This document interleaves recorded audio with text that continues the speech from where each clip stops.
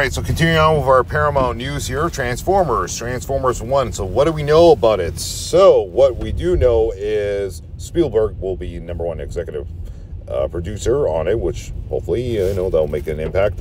So, there's the logo as you guys look, see it right now. Scarlett Johansson, Chris Hemsworth are in it. So, what do we know? It's going to be the backstory of Orion Pax, who we know is Optimus Prime, with a younger version of Megatron and Elita 1, played by, of course, Scarlett Johansson are going to be introduced. We're going to see the whole backstory of it. Bumblebee's in it too.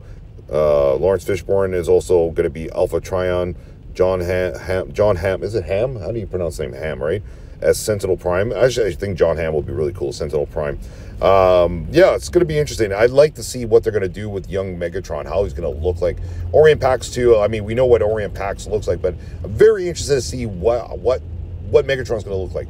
And I really hope they go with the comic book look of Megatron with the blue and the silver.